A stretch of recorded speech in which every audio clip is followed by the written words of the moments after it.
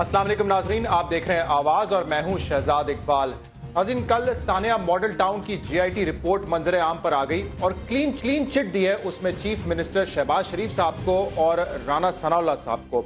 आपको याद है, इससे पहले भी एक रिपोर्ट आई थी, जो सिंगल जज की रिपोर्ट थी, उसमें ऐसा लग रहा था कि कुछ हद तक इन्वॉल्वमेंट चीफ मिनिस्टर साहब की और पंजाब हुकूमत की थी, लेकिन इस जेआईटी ने इनको क्लीन चिट दे दी है। और आपको याद होगा, पिछले साल जो धरना था इस्लामाबाद में उसमें डॉक्टर अहल कादरी साहब का यह मौकफ था कि हम इस जीआईटी आने की वजह से चीफ मिनिस्टर का इस्तीफा लेके ही उठेंगे। पाकिस्तान अवामी तहरीक यकीनन इस जीआईटी से मुतमिन नहीं है, इसीलिए उन्होंने एहतजाज का ऐलान भी किया है। कल एक और भी बड़ी डेवलपमेंट थी। कायम अली शाह साहब ने जब प्रेस कॉन्फ्रेंस करके ये बताया कि सफूरा इंसिडेंट सानिया सफूरा में जो चार लोग पकड़े गए हैं उनमें से तीन लोगों का जो बैकग्राउंड था वो हैरान कन था।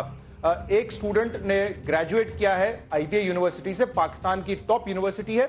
इसके अलावा एक स्टूडेंट जो है, वो इंजीनियरिंग बैकग्राउंड का था, सर सैयद यूनिवर्सिटी से उसने इंजीनियरिंग की थी। और तीसरा स्टूडेंट जो है, वो एमए था कराची यूनिवर्सिटी से। तो इस खबर ने हैरान कर दिया। ये पहली मरतबा नहीं है कि हमें पता चला हो कि किसी मॉडर्न स्कूल या कॉलेजेस या यूनिवर्सिटी से जो लोग निकले हैं, उनका ताल्लुक कहीं ना कहीं दहशतगर्दी से है। ये पहली मरतबा यकीन नहीं है, लेकिन फिर भी जब भी इस तरह की कोई बात आती है तो ये हैरान ज़रूर कर देती है, क्योंकि जब भी कोई बड़ा वाक़ होता है तो उसके बाद ये बहस हो जाती है कि मदारस के जो सिलेबस हैं, उन पर जो है नजरसानी करनी चाहिए, उनको रेगुलेट करना चाहिए। लेकिन हम देख रहे हैं कि अब जो मॉडर्न एजुकेशन पाने वाले तालब इम हैं, उनका भी जो है कनेक्शन अगर दहशत गर्दी से निकल रहा है तो ये बड़ी ही अलार्मिंग सिचुएशन है। तमाम इशूज़ पर हम बात करेंगे। हमारे साथ आज प्रोग्राम में मौजूद है अवामी मुस्लिम लीग के सरबरा शेख रशीद साहब। शेख साहब, बहुत बहुत शुक्रिया आप प्रोग्राम में तशरीफ़ लाने के लिए। सबसे पहले तो शेख साहब, कोई ऑनलाइन डिग्री लेने का इरादा विरादा तो नहीं है? मैं तो बड़ी मुश्किल से ही पास होने वाला हूँ। कंपार्ट भी आती थी, इसलिए मेरी डिग्री पे तो किसी को शक नहीं होना चाहिए। मैं वो बर रास्त पास होने वालों में से नहीं हूँ। और तालीम वालों का हाल अभी आपने बता दिया कि जितनी हायर एजुकेशन है, उनकी सोचों में बल्कि मैं खुद अपने आप को कौम के सामने आज आपके प्रोग्राम में रखना चाहता हूँ। मैंने इस मुल्क में एजुकेशन के लिए अपने हल्के पचपन छप्पन में जो खिदमत की पाकिस्तान के किसी सियासतदान ने की। मैंने साठ कॉलेज और यूनिवर्सिटियाँ मैंने रिज़ाइन दे दिया था। इस वेमन यूनिवर्सिटी अगर ना बनती, सरताज अज़ीज़ साहब कुछ और बनाना चाहते थे, पैसों की ज़रूरत no I come on a decision कि जब मेरा शहर लुगड़ था, अनपढ़ था, जाहिल था, गंवार था, उसमें माफ़ी की गुंजाइश थी, उसमें कुशन था, उसमें एक दूसरे को माफ़ करते थे। आज मेरे शहर में we are number one in education specially female education मेरे शहर में जो मैंने साठ कॉलेज स्कूल यूनिवर्सिटियाँ बनाई, उसका नतीजा ये निकला कि आज लोग एक दूसरे के खून के न सिर्फ़ प्यासे हैं, बल्कि एक दूसरे का जनाजा नहीं पढ़ सकते। एक दूसरे के जनाजे में नहीं जा सकते। मेरे शहर की रवायत थी कि पहले अहल सुन्नत वल जमात का जनाजा पकड़ा पड़ा जाता था, चार तकबीरों वाला, फिर अहल तशी का पढ़ा जाता था। कोई मसला नहीं होता था। अब बिल्कुल शहर तकसीम हो चुका है। और इस शहर तकसीम करने में जितना इस शहर में जो कुछ हुआ मैं समझता हूँ उसका इल्म से कोई कोई नतीजा नहीं निकला। मैं कौम के सामने अपनी शिकस्त का एतराफ़ शेख साहब जो यूनिवर्सिटीज़ या कॉलेजेस अगर आपने बनाए तो इसमें उनका तो कसूर नहीं है इसमें तालीम का भी कसूर नहीं है। शायद जो तालीम दी जा रही है उसका कसूर हो सकता है। देखें इकोनॉमिकल एनिमल पैदा करना गधों पे डिग्रियाँ नाफज कर देना एक थ्रिल और एक वीएन वाली एजुकेशन जो है वो नापैद है। गुंजाइश की बहुत कम गुंजाइश है। अब तो कॉलेजों में इलेक्शन कराने की ज़रूरत नहीं है। यही आठ दस बंदे आपको नज़र आ रहे हैं शेख रशीद टाइप के। ये कॉलेजों से उठे हुए लोग हैं। बांझ हो गई हैं यूनिवर्सिटियाँ कॉलेज वहाँ या दहशतगर्द पैदा हो रहे हैं। और आपने सारा मलबा मदरसों पर डाला रखा जी के मदरसे ये हैं जी, मदरसे वो कर रहे हैं। अभी देखें परवेज रशीद के बयान ने कितना हंगामा खड़ा किया, दुरुस्त या गलत, इसमें मैं नहीं जाना चाहता। मेरे पास बड़ी ऐसी इंफॉर्मेशन है कि मोस्टली मास्टर प्लान चार आदमी है। एक प्लान बनाते हैं, एक उसको इम्प्लीमेंटेशन उसको देखता है कि इसका अमल कैसे करना है, तीसरा सिलेक्शन करता है, चौथा इंप्लीमेंट करता है। जो टॉप मैन है, वो टॉप एजुकेटेड है। वो इतना एजुकेटेड है कि वो तोानाई से अपनी लैपटॉप को चार्ज कर लेता है। बिजली को नहीं हाथ लगाते। नाइन इलेवन के भी इंसिडेंट में हमने देखा था, तमाम जो लोग निकले थे, जो उसमें इन्वॉल्व थे, वो पढ़े लिखे लोग थे। ये उस वक्त भी हमने देखा था। लेकिन शेख साहब ये जो मैं जिन यूनिवर्सिटीज का नाम ले रहा हूँ ये पाकिस्तान की टॉप यूनिवर्सिटीज हैं। आपने देखा था जो एपीएस का वाक्य हुआ था उसके बाद आ, हमने वो नेशनल एक्शन प्लान बनाया उसमें बीस नुकात है जिसमें था कि मदारिस की रजिस्ट्रेशन होगी। चौधरी निसार को किसी ने पैसे ही नहीं दिए। चौधरी निसार की कोई सुन ही नहीं रहा। नेक्टा के लिए। कोई पैसे ही नहीं दिए आप पूछें। मेरे कॉलेज रुका पड़ा है दो करोड़ का। इन्होंने कहा जी मेंबर को देंगे। मेरा हॉस्पिटल जो है जिसपे अरबों रुपया खर्च किया हुआ है रुका पड़ा है। ये पसंद और नापसंद का मसला है। जो अपने वज़ीर दाखिला को पैसे नहीं देते वो शेख रशीद को देंगे जी। सो so, इनकी चेन ऑफ़ फूल्स मेरे मुँह में फ़िक्र आया है।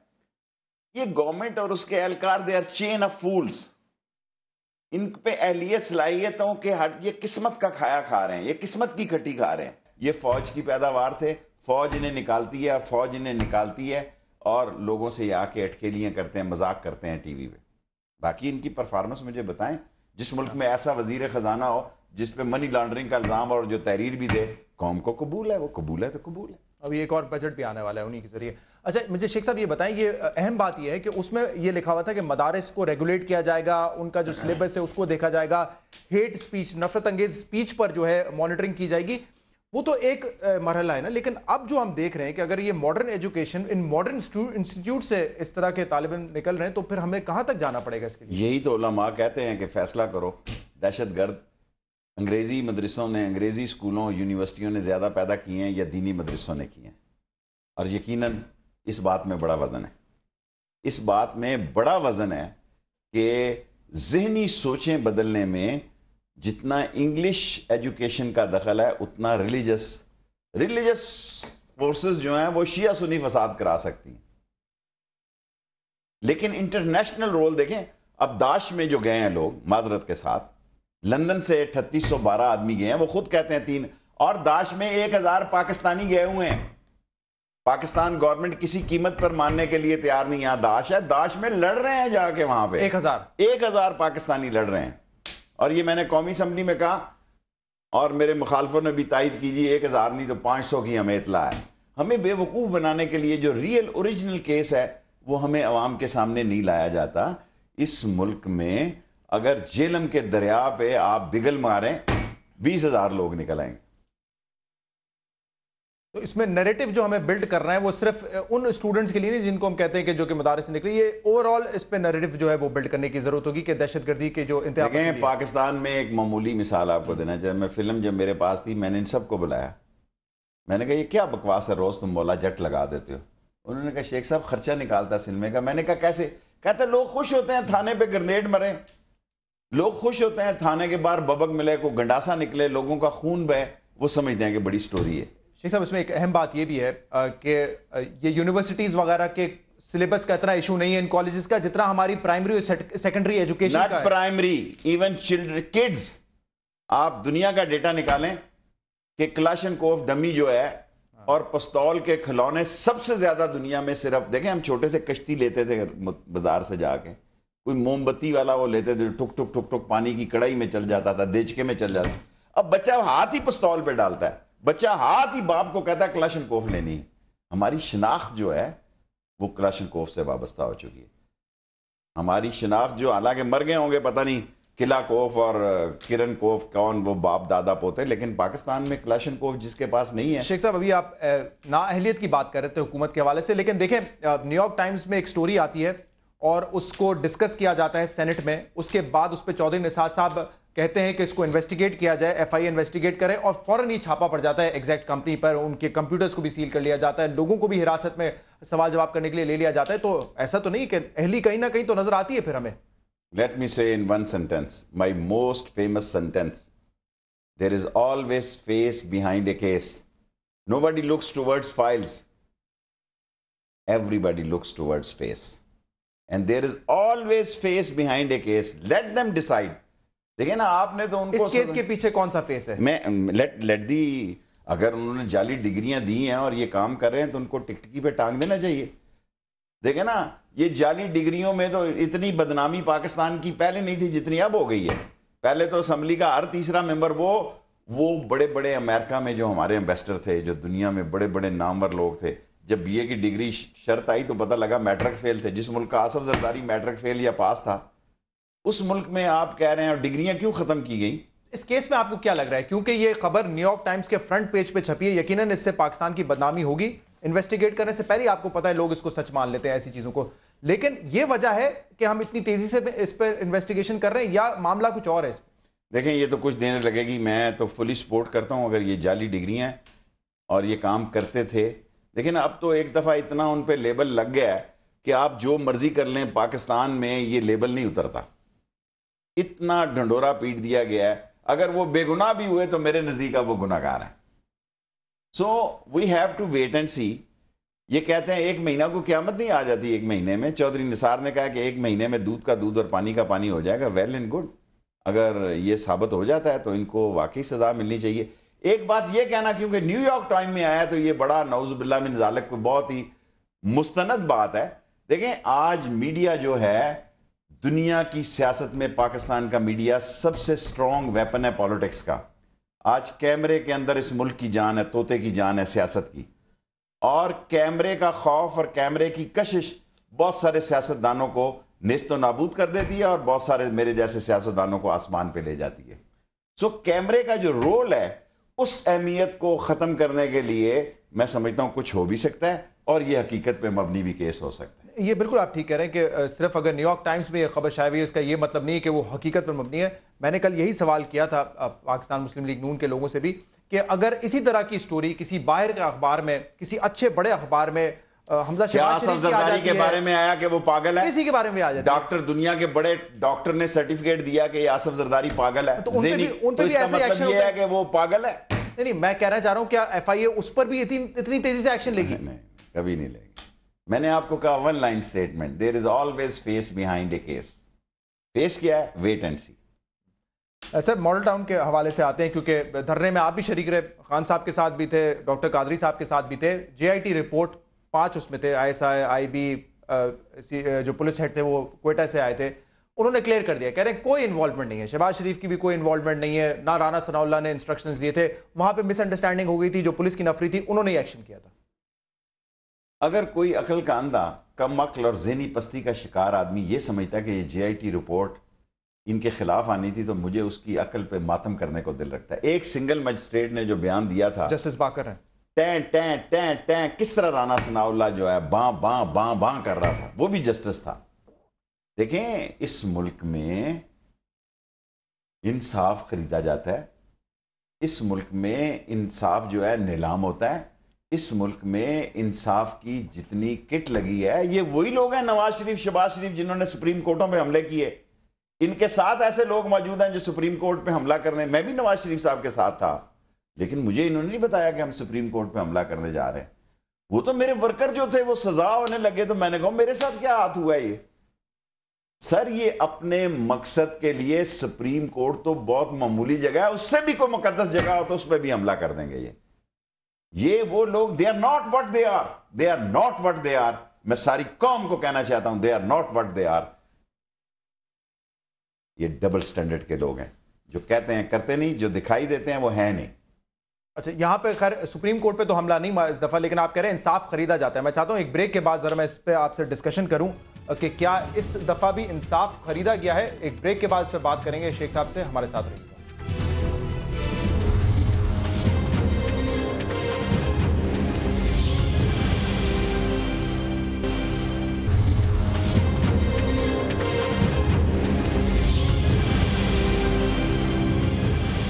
वेलकम बैक नाजरीन शेख रशीद साहब हमारे साथ प्रोग्राम में मौजूद है। शेख साहब, ब्रेक में जाने से पहले आप कह रहे हैं, ये लोग इंसाफ खरीद देते हैं, सुप्रीम कोर्ट पे भी हमला हो चुका है। इस मरतबा कोई हमला नहीं हुआ सुप्रीम कोर्ट पे, धरना भी हुआ था इंसाफ के लिए। तो आप ये कह रहे हैं कि एक जीआईटी जिसमें एजेंसीज के लोग हैं, जिसमें पुलिस के लोग हैं उनसे भी इंसाफ खरीद लिया जाता है क्या? आपका ख्याल है, ये मुमकिन नहीं है? वो डॉक्टर वो जस्टिस बाकर पागल था जिसने जो रिपोर्ट दी थी। इन्होंने अकल के चश्मे लगाए हुए थे सारा ने। मैं समझता हूँ, देखें, आप उस गरीब को दाद दें, जिनको लाखों रुपए ऑफ़र मिली। उन्होंने इनका पैसा नहीं लिया। यहाँ बंदा शहीद हो जाता है अगले दिन कहता, जी, पाँच लाख टीवी पे मैंने देखा है। घर वाले कह रहे होते हैं, वो पाँच लाख का चेक ही नहीं आया। और तायरुल कादरी का वर्कर गरीब वर्कर है। ये जेन में रहे आपके। वो पकौड़े के साथ रोटी खा रहा था। वो बर्गर नहीं खा रहा था वहाँ पे। वो पकौड़े और चटनी के साथ रोटी खा रहा था। और वो मुकाबले की ज़रूरत रखता है, और उसने मुकाबला किया।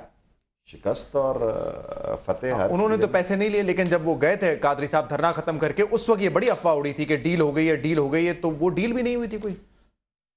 देखें मैं मुसलमान आदमी हूँ गुनागार इंसान हूँ मेरे सामने तैरुल कादरी ने रोज़ा रसूल पे यूँ दोनों हाथ उठा के मुझे कहा कि शेख रशीद मैं ये रोज़ा रसूल पे दोनों हाथ कटा के क़्यामत के दिन के लिए तुझे शहादत देता हूँ कि हमने कोई पैसा नहीं दिया ना नवाज़ शरीफ से ना शहबाज शरीफ से ना उनकी हुकूमत से मेरे लिए काफ़ी था। लेकिन शेख साहब देखें इंसाफ के लिए यहाँ पर ये एक और चीज़ भी करनी पड़ती है जो काजी साहब ने खुद ने की कि धरना था जिसकी वजह से एक प्रेशर था। अब अगर वो खुद चले जाएँ कनाडा वापस तो वो प्रेशर तो खत्म हो जाता है। तो कहाँ है वो? आज अगर ये फैसला आए तो मेरे ख्याल से इसमें एक इसका बड़ा अहम रोल होगा कि कोई प्रेशर ही नहीं अब हुकूमत पर इस वाले से। ज़ाहिर है गवर्नमेंट अपने आप को तो यही समझ रही है ना कि हमने पे दर पे एक लंबी स्ट्रेटजी के तहत इनको शिकस्त दे दी है। लेकिन सियासत में मैं समझता हूँ कि जो लोग ये समझ गए हैं कि वो विक्ट्री स्टैंड पे पहुँचे हुए हैं मैं इस बात की तायद नहीं करता। और आ, मैं किसी के मुकद्दर भी नहीं छीन सकता। मैं एक जद्दोजहद करने वाला फाइटर पॉलिटिकल वर्कर हूँ लेकिन मैं अगर नवाज़ शरीफ और शहबाज शरीफ की किस्मत के सितारे इतने बुलंद हैं कि कौम मर जाए पसपा हो जाए तबाह बर्बाद हो जाए उनकी चीखें निकल जाएँ फिर भी उसने हुक्मरानी करनी है तो फिर मैं सितारे बुलंद है या उनकी कारकर्दगी अच्छी है या उनकी सियासत अच्छी है ये कारकर्दगी तो ये ज़ीरो देखा है ये ज़ीरो इस टेबल पे जो पड़ा हुआ है इनकी कारकर्दगी कहते हैं इंसान अपनी किस्मत खुद भी बना सर जी आप अपनी खबर देखें कितने मेगावाट की शार्टेज और हो गई है मैं तो यही कारकर्दगी देखूँगा ना बताएँ मुझे कितने रोज़गार मिले ये खानदानों का कब्जा ग्रुप है नवाज़ शरीफ आसफ जरदारी जो एक दूसरे का नाम नहीं सुनने के लिए तैयार थे। दोनों एक दूसरे के बोले हैं सिंध में। क्यों दिए इन्होंने ऑयल पे? क्योंकि गवर्नर राज का उन्होंने श्योरिटी दी कि यहाँ गवर्नर राज अठारहवीं तरमीम में गवर्नर राज नहीं लग सका। अच्छा आप कह रहे हैं जो गैस पे टैक्स लगाया है और उसमें पीपल्स पार्टी ने सपोर्ट किया है नवाज़ शरीफ को वो इसलिए किया है क्योंकि नवाज़ ये अमेंडमेंट कौम को मैं बताना चाहता हूँ जो खुर्शीद शाह साहब ने पहुँची है पेश किए ये प्लानिंग के तहत इनके सेटिंग हुई थी कि हम अमेंडमेंट देंगे हम वोट देंगे आपको ये जहन्नम में जाए सारे लोग बाकी। और ये प्लानिंग थी उन्होंने कमिटमेंट ली कि गवर्नर आज नहीं लगेगा और ये चारों जो अमेंडमेंट दी गई ये प्लानिंग का हिस्सा था। सर ये अगर गवर्नर राज गवर्नर राज अगर सिंध में लग रहा हो अगर लग रहा हो और अगर ये फैसला हो चुका है तो आपके ख्याल में नवाज़ शरीफ साहब रोक सकेंगे उस गवर्नर राज को? नहीं तो फिर उस श्योरिटी का क्या फ़ायदा? देखिए वक्त डंग टपाओ पॉलिसी नवाज़ शरीफ का बेसिक स्लोगन है। वो कहता है आज तो टपाओ ना कल आएगी तो बिजनेसमैन है ना। वो कहता है आज टालो कल आएगी तो देखेंगे। ये डेली वेजेस के सियासतदान है। ये कोई मनसूबाबंदी वाले सियासतदान नहीं, हर रोज नए मनसूबे या लंबे रोज एक नई मुसीबत में आते हैं because they don't have any planning they just talk क्या इनकी प्लानिंग है? ये प्लानिंग है इनकी कि 400 अरब रुपया ले रहे हैं गैस पे, वो लोगों की गर्दन से कटेगा। इन्होंने धरने के दौरान कहा कि सत्तर, साठ सत्तर अरब रुपया, वो अब सौ हो गया होगा हमारे पास जमा है। अगर 400 अरब ये लगना है तो पाइपलाइन का मैंने, आप देखें ना, पता नहीं किसको ठेका मिलता है। किर्गिस्तान से पता नहीं कब आनी है, ईरान उनके करीब है। जब तक अमेरिका की क्लियरेंस ना हो, ये ले सकते हैं जी। और ये सौ अरब जो इनके पास है, इससे भी शुरू हो सकता है काम। सौ अरब इतनी देर में और हो जाएगा। ये कौन सा एक दिन का काम है? और सारे मुल्क में देखें, अगर ये टेंशन जो जॉर्डन में, जो यमन में, जो लिबिया में, जो इराक में, जो सऊदी अरब में, ये जो बढ़ती जा रही है, आयल सस्ता होता गया तो ये भी लोग सोचेंगे कि यार आयल की प्रोडक्शन से ज़्यादा उसकी सेल प्रोडक्शन जो है उससे वसूली कम हो रही है। इस इस मुख मुके पे मैं बात करता हूँ आपसे लेकिन मॉडल टाउन के हवाले से आप मुझे ये बताएँ कि आप क्या रबते में है डॉक्टर ताहिल कादरी साहब से? क्योंकि अगर पाकिस्तान अवामी तहरीक कह रही है कि हम आ, हम इस पर एहतजाज करेंगे जीआईटी को हम नहीं मानते मुझे लगता है फारिग हो चुके हैं सियासी तौर पर वो। लेकिन आपको लगता है कोई दम है डॉक्टर साहब की वापसी का कोई इरादा है? मैं ये तो नहीं कह सकता मुझे कह रहे थे कि मैं आऊँगा रमज़ान में। और देखें दो दफ़ा तो वो आ चुके हैं। और जा भी चुके हैं। वो जा भी चुके हैं। सड़कों पे निकाल भी चुके हैं लोगों को दो निकाल भी चुके मायूस भी कर चुके हैं दो दफ़ा। लोगों ने क्या मायूस करना लोगों को क्या मायूस करना वो अपने ताई तो अपनी जद्दोजहद कर चुका है ना। 126 दिन इमरान खान ने जो कंटेनर पे गुजारे हैं वो कहना आसान काम है। मैं भी उसके साथ 126 दिन कंटेनर पे रहा। तो लेकिन डटे हुए ना मैदान में सियासत के मैदान में आज भी डटे हुए हैं? सही कह रहे हैं आप। सही कह रहे हैं। इसमें कोई शक नहीं है लेकिन उसकी सेहत जो है तायरुल कादरी साहब की वो इसकी इजाज़त नहीं दे रही थी। तो जो बकर का एक बाई इलेक्शन था उसमें मेरे ख्याल से पता चल गया था कि सियासी हैसियत शायद इस तंजीम की इतनी नहीं है। देखें ये आप जो मर्ज़ी कह लें सियासी बंदा जो होता है ना हम्म, हम्म। जब सियासत का ढोल पीटा जाता है ना तो वो सियासत में होता है। और किसी आदमी को भी अंडर एस्टिमेट नहीं करना चाहिए सियासत में। और जो बड़ा सियासतदान ये समझता है कि मैं तो बड़ा कस्तन दुनिया मैंने फतह कर लिया हुआ है। मैं समझता हूँ वो अहमकों की जन्नत में रहता है।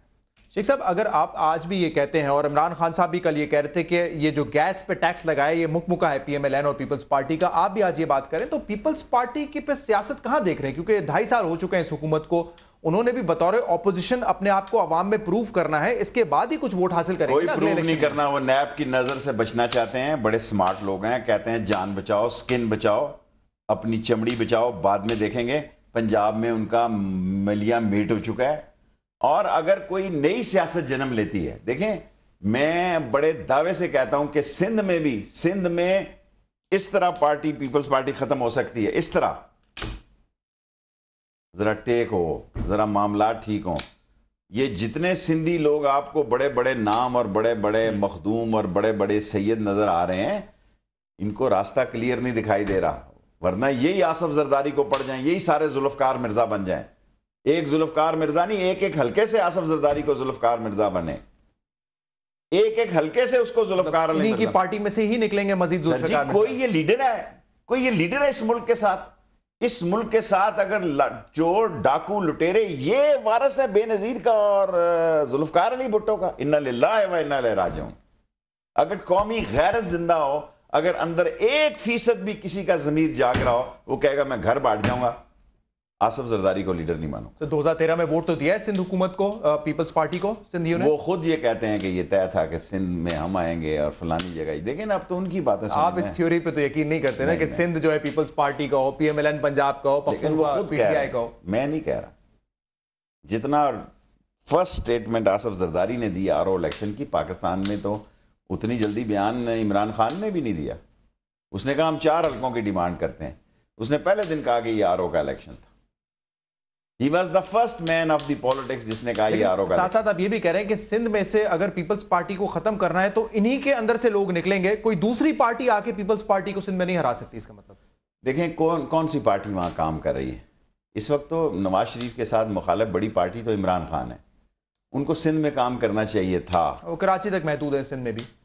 तो फिर अभी ये कहना कि भाई वहाँ कोई उनके लिए माँ सवाए इसके कि इस मुल्क की सियासत में एक बड़ी तब्दीली आए और बड़ी तब्दीली तभी आती है जब एहतसाब के दरवाज़े खुलते हैं और चोर जेलों के पीछे होते हैं और चोरों से लूटा हुआ माल वापस लिया जाता है। जब चोरों को खुल खलेबियाँ हों, चोरों के पास प्रोटोकॉल हो, चोरों के पास सिक्योरिटी हो तो कहते हैं, ठीक यार, इसका कोई भी नहीं बिगाड़ सकता तो मैं क्या लड़ सकता हूँ वैसे जरदारी साहब ने भी ये कहा था कि अगले इलेक्शन में हम मुकाबला जो है वो पाकिस्तान तरीके इंसाफ पे, से करेंगे। तो मतलब मामला वहाँ तक पहुँच चुके हैं कि नून लीग ऊपर है और मुकाबला दूसरे और तीसरे नंबर पर होगा पीटीआई कहने में तो कोई अर्ज़ नहीं आसफ जरदारी ही को मेरा मतलब है। जो शख्स अपनी बीवी की वसीयत एक नौकरानी के घर से बरामद कर सकता है नौकरानी के ब्रीफ केस से बरामद कर सकता है नौकरानी के पर्स से बरामद कर सकता है ये दुनिया की पहली वसीयत है किसी बेटे और बेटी के घर से नहीं निकली वो नौ किसी बहन के घर से नहीं निकली। तीन बहनों से नहीं निकली बिलावल से नहीं निकली आसफा से नहीं निकली निकली तो नौकरानी से निकली। और सारी पार्टी को आप उस वसीयत को हमेशा शक, शक की नज़र से देखते हैं लेकिन पार्टी वाले शायद उनके अपने बच्चे नहीं देखते उसको। पता नहीं मैं समझता हूँ इससे बड़ी उसको क्या सजा है कि उसका अपना बेटा उसके कह में नहीं कह रहा सितंबर में आ रहा है। वो भी लोगों को पता लग जाएगा आ रहा है तो कहाँ आ रहा है।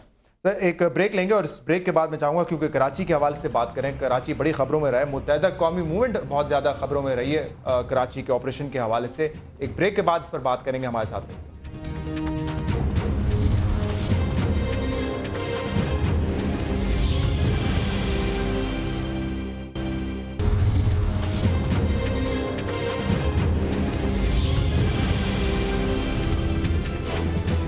वेलकम बैक नाजीन हमारे साथ शेख रशीद साहब मौजूद हैं प्रोग्राम में। शेख साहब गवर्नर राज के हवाले से बात हो रही थी। आ, सिंध के हालात और बिलखसूस कराची के हालात पहले के मुकाबले में बेहतर है। अभी भी बड़ा वाक्य जो हुआ था सफूरा में जिसमें पैंतालीस जो है इस्माइली हमारे भाई उनको जहाँ बाग कर दिया गया।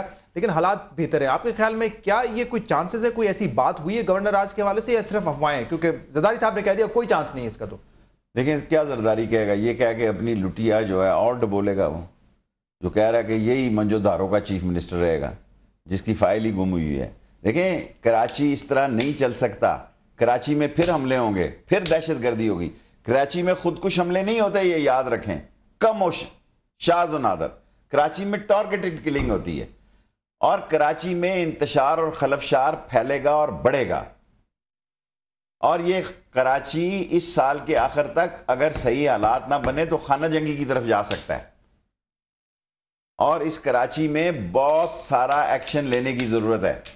और एक्शन लेने के लिए ज़रूरी है कि पॉलिटिकल फोर्सेस की हमायत भी ली जाए। ये ना हो कि किसी को आप कहें, जनाब अली, ये तो ए है और ये बी है और ये सी है। इस तरह नहीं काम बनेगा। तो कराची में जब आप पॉलिटिकल फोर्स की बात करते हैं तो एम क्यू एम है। अब प्रॉब्लम यह है कि एम क्यू एम पिछले काफ़ी हफ्तों से, काफ़ी महीनों से ये बात कर रही है कि इस ऑपरेशन का रुख हमारी तरफ़ मोड़ दिया गया है। जबकि अभी भी जो आखिरी मीटिंग थी जिसमें चीफ ऑफ़ आर्मी स्टाफ थे डीजी आई एस आई थे गवर्नर साहब थे सीएम साहब थे सबने कहा है कि ये किसी सियासी जमात के खिलाफ नहीं है। तो उस लेवल पे अगर ये बात की जाए तो उनको मान लेने नहीं लेना चाहिए कि सिर्फ़ ये दहशत गर्द गुजारिश ये है गुजारिश ये है कि जो एक तासर बनाया गया उसका जिमनी इलेक्शन में पूरा फ़ायदा एम क्यू एम को पहुँचा। और ये मैं कहता था कि जिस तरह नवाज़ शरीफ कहते थे कि पंजाब, पंजाबी जाग, तेरे पग न लग गया दाग, इस तरह महाजरों की बात हो गई। वहाँ एम क्यू एम ने कहा भी महाजर की ज़िंदगी मौत का सवाल है। महाजर यूनाइटेड हो गए। देखें उसकी पॉलिटिकल फोर्स से आप इनकार नहीं कर सकते। लेकिन उनके पास जो कन टूटे हैं, सबका क्राउड है, सारा डस्टबिन में जो वो ज़रूरत है कि ये मच्छर और ये काना और लंगड़ा और लूला और बैंगा और इन सबको नेस्त नाबूद किया जाए। इन सबको नेस्त नाबूद किया जाए। वरना एक दिन ये एमक्यूएम की जड़ों में बैठ जाएँगे। आगे भी बैठे हुए हैं। एमक्यूएम के फ़ायदे में ये बात है कि ये उजरती कातल और मैं समझता हूँ एमक्यूएम को इस बात का आप क्रेडिट भी दें कि मैंने कल उनके एक लीडर की बात सुनी है। उसने कहा है जी कि हमारा अगर आदमी किसी इस किस्म की गैर कानूनी काम बात में आता है तो उसको टांग दें आप।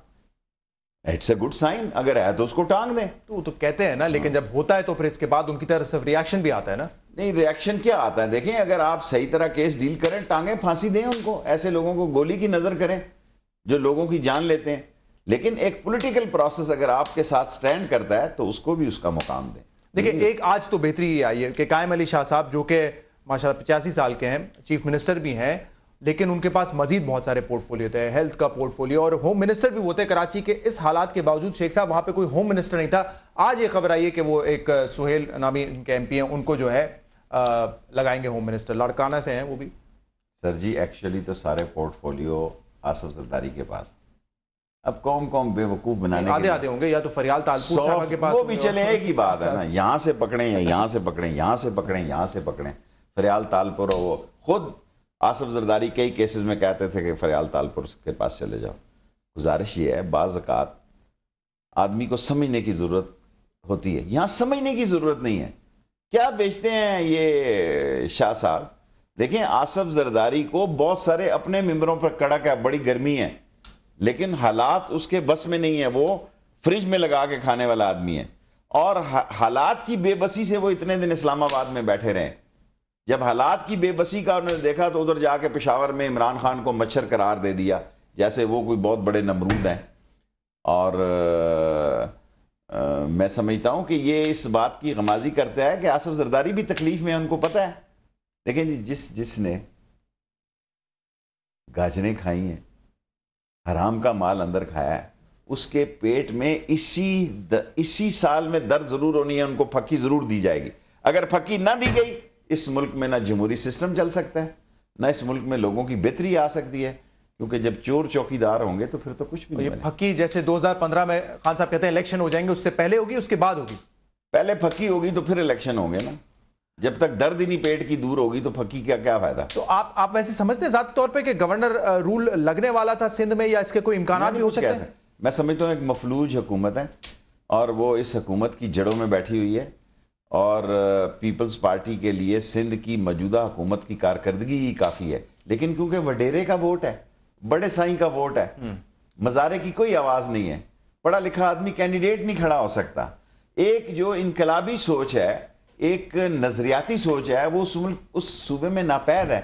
जब तक वहाँ एक सोच नहीं पैदा होगी इन जालमों के खिलाफ इन लुटेरों और डाकुओं के खिलाफ एक आवाज़ और फजा नहीं बनेगी उस वक्त तक तो फजूल इशतुलबाद साहब पर आपका क्या ओपिनियन है? एमक्यूएम ने तो ला तालुके का इजहार कर दिया कहा कि हमारी सियासी जमात से इनका कोई ताल्लुक नहीं है। देखें इशरतुल्लाबाद से चाहे एम क्यू एम ला तलक हो चाहे इशरतुल्लाबाद एम क्यू एम से ला तलक हो या एम क्यू एम इशरतुल्लाबाद से ला तलक हो दोनों एक दूसरे से लातलक नहीं हो सकते। एन इशरतलबाद अच्छा आदमी है।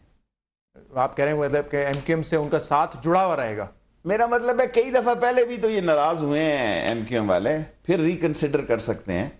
देखें उनमें एम क्यू एम की बड़ी ये भी है कि वो रिवर्स भी लगा लेते हैं वो टॉप गियर भी लगा लेते हैं वो लेफ़्ट राइट right, सारी तरफ़ मूव करते हैं जिस किस्म की सियासत हो and it's good politics doctor Mirza साहब के हवाले से भी आप बात कर रहे थे कितना डैमेज किया है पीपल्स पार्टी को डॉक्टर मिर्ज़ा साहब ने? या सिर्फ़ चंद दिन की ये तो आसम जरदारी कहते हैं ना उसने क्या डायमंड किया वो तो किसी के इशारे पे इस मुल्क में जो भी किसी के गले पड़े ना उसको कहते हैं ये इशारे पे कर रहा है। देखें गली गली आसफ जरदारी की उसने पोस्टमार्टम करके कपड़े टांग दिए। एक एक घर में आसफ जरदारी के कपड़े टांग दिए उसने। एक एक घर में उसकी बदबूदार, उसकी नहीं मुझे कहना चाहिए कि ऐसी बदबू फैला दी आसफ जरदारी के बारे में कि वो बेशक वो है मलवस या नहीं है, लेकिन उसने सत्यानाश कर दिया जुल्फकार मिर्ज़ा ने आसफ जरदारी के इमेज का, सौ साल भी लगा रहे ना, ये इमेज नहीं बहाल हो सकता। बिलावल को भी ले आया ये इमेज नहीं बहाल हो सकता। अच्छा एक अहम सवाल मैं आपसे ये करना चाहता हूँ, इस इशू पे बात करना बड़ा ज़रूरी है। पिछले दो तीन हफ्तों से हम देख रहे हैं कि पाकिस्तान के अंदर जो दहशत गर्दी हो रही है, उसका इल्ज़ाम बहुत हद तक रॉ पे भी लगाया जा रहा है। इवन सफूरा इंसिडेंट पे कह रहे थे कि शायद इसमें भी उनकी इन्वॉल्वमेंट हो। पहले कोर कमांडर कॉन्फ्रेंस में इस पर डिस्कशन होती है, फिर फॉरन ऑफ़िस बात करती है, फिर कायम अली शाह साहब बात करते हैं। ये कहाँ से शुरू हो गया? देखें, ये डिस्कशन करना भी मुनासिब बात नहीं है। मेरा ख्याल है एक्शन लेना चाहिए। Kill the before the kill you और को अगर वक्त से पहले time is the most important factor in politics so I again say kill the before it kills you so अगर ऐसा है tit for tat this is the only solution अगर आप टिट फॉर टैट नहीं करेंगे तो कल वो ज़रूरी नहीं है कि कराची में आपको पकड़ेंगे. वो गंडा सिंह में भी पकड़ लेंगे, वो इधर नारोवाल में पकड़ लेंगे. वो मेरा मतलब है यू कांट से इट अगर एक एजेंसी को आप इतनी अहमियत ना दें, वो जैसा टिट फॉर टैट जैसा अगर वो कर रही है उसको उसका जवाब दिया जाए। ये, ये बात बड़ी अहम है क्योंकि अगर वो भी इन्वॉल्व हैं पाकिस्तान की इस दहशत गर्दी में तब भी हमारे इदारों का ही काम है ना कि उनको बेनकाब करे और उनको पकड़े उनके खिलाफ कार्रवाई की जाए। सही बात। अगर वो देखें पाकिस्तान की सरहदों से कोई खतरा नहीं पाकिस्तान को अंदर से खतरा है। और इंडिया को ये मालूम है बहुत अच्छी तरह कि पाकिस्तान को अंदर से नुकसान पहुँचाया जा सकता है लेकिन उनकी अकल काम नहीं कर रही। जिस तरह आसफ जरदारी और नवाज़ शरीफ एक दूसरे की इंश्योरेंस पॉलिसी हैं, इस तरह पाकिस्तान का कायम रहना भी हिंदुस्तान की ज़िंदगी की ज़रूरत है, वरना एक एक सूबे में पाकिस्तान बन जाएगा। और आगे इस तरफ़ की सारी दुनिया इस्लाम की जिस जंग में शुरू हो रही है, उसका जज्बा इस तरफ़ तो बहुत ज़बरदस्त होगा। देखिए, हमारा फौजी इतनी खुशी से नहीं लड़ रहा है इन दहशत गर्दों के खिलाफ। यार, लड़ रहा है, बट वो पाकिस्तान के लिए लड़ रहा है। अगर इस तरफ़ बात कोई निकली तो ये 10-11 साल से जो इधर जंग जा रही है अगर खुदा न खास्ता इस तरफ़ बात निकली तो बहुत दूर तक निकल लेकिन मुझे ये समझाएँ कि शेख साहब ये इतना ज़्यादा इस इशू पर हम वोकल अब क्यों हो गए? जैसे मैंने कहा core commander conference foreign office पहले ये चीज़ें जो है आप जमात इस्लामी कह देती थी या कोई और सियासी मजहबी जमात जो है इल्ज़ाम लगा देती थी मीडिया पे थोड़ी बहुत डिस्कशन मीडिया में लेकिन अब इतनी ज़्यादा डिस्कशन पाकिस्तान में मीडिया मीडिया ने इंडिया का बड़ा एक सॉफ्ट कॉर्नर पेश किया है। उसकी चमकीली और चमक और गर और थरथराती उसकी फ़िल्म इंडस्ट्री ने इस मुल्क के कल्चर में बहुत ज़्यादा नी मुरिया फ़िल्म इंडस्ट्री ने इस मुल्क के नफ्सियात पे बहुत असर डाला और एक ऐसी चमक उसकी तरक्की की बताई जो कि हकीकत से बहुत दूर थी। सो so, इस मीडिया ने जो चमक दिखाई उसको साइज़ करने के लिए भी देखें अमेरिका ने पहले कैमोनिज्म के खिलाफ अपनी कौम को इकट्ठा रखा। कैमोनिज्म से जब उन्होंने देखा मसला ख़त्म हो गया फिर वो इस्लाम के मतलब आ गए। और पाकिस्तान ने ऐसा ज़ाहिर किया जैसे हम तो जन्म जन्म के हैं। वीज़ा ही ख़त्म कर दो, नवाज़ शरीफ साहब ने कहा कि मेरी तो ख्वाहिश है वीज़ा ही ख़त्म कर दो। अगलों ने कहा करने देते हैं। शेख साहब पाँच जून को बजट पेश किया जाएगा। इस पीएमएलएन के दौर का ये तीसरा बजट होगा। अब मुझे पता है आप कोई इकनॉमिक एक्सपर्ट नहीं है, लेकिन मुझे ये बताएँ, अगर इसहाक डार साहब कहते हैं कि हम मीशत को मुस्तकम कर रहे हैं और हम जिस राह पे चल पड़े इकनॉमिक कॉरिडोर के बाद, इसके बाद जो इन्वेस्टमेंट आएगी, पाकिस्तान के माशी हालात जो है पहले से बेहतर हो गए इस आप इस पे इतफाक करते हैं इस बात से और कोई बजट में और बेहतरी नज़र आएगी? देखिए मैं एक सीधा सा बंदा हूँ। सीधी बात आपसे करना चाहता हूँ। 120 22 डॉलर से 60 बासठ चौसठ डॉलर पे आ गया आयल जो 16 करोड़ रुपए का रोज का पीए ये पेट्रोल लेती थी वो 8 करोड़ का लेती है। आप फाइलें निकाल के देख लें। तरक्की खाक हुई है उसमें। मुझे आप बताएँ जिस मुल्क में आठ दस बिलियन डॉलर का वैसे ही फ़र्क पड़ गया छह से आठ दस डॉलर ये का। कमाल सारा जो है ऑयल प्राइसेस का है। देखें बेसिक क्या इससे आ, आपने इलेक्ट्रिसिटी दी? क्या इससे आपने कारखाने को चलने का मौका दिया? एक आपका टेस्ट है कि आपकी एक्सपोर्ट बढ़ी है? नहीं। ओवरसीज पाकिस्तानी जिस बुरान में और इस बुरान में कुछ लोग मुल्क से बाहर मिडिल ईस्ट चले जाएँगे। सो हम तो अपने मजदूरों की मेहनत की कमाई पे शरगुल्ले उड़ा रहे हैं। इसकी कीमत देनी पड़ेगी। शेख साहब बहुत बहुत शुक्रिया प्रोग्राम में तशरीफ़ लाने के लिए। नाजिन इस प्रोग्राम का फीडबैक आप हमारे ट्विटर अकाउंट पर और सोशल मीडिया पर दे सकते हैं। प्रोग्राम से इजाज़त दीजिए। अल्लाह हाफिज़।